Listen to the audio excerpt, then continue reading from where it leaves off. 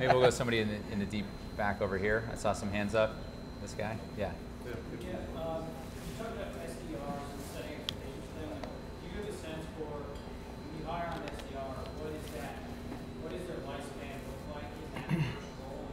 And how would you set expectations? So Yeah. what does the lifespan look like for an SDR and how do you set expectations?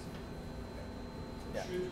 No, Or or you, de- you you definitely should set the expectations. I would say um, one of the things that I, I didn't do a great job of, or my team didn't, we didn't do a great job of, was making sure to set that expectation that just because people are getting promoted so quickly right now, that it's going to continue to stay that way.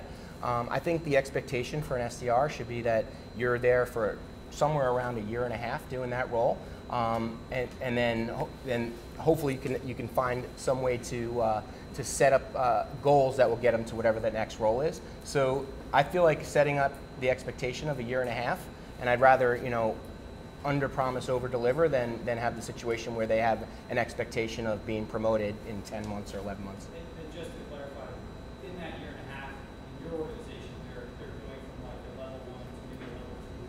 No, that, that would be the full full level one, level two, and level three would have been completed within that, and in most cases, it's completed within the first year.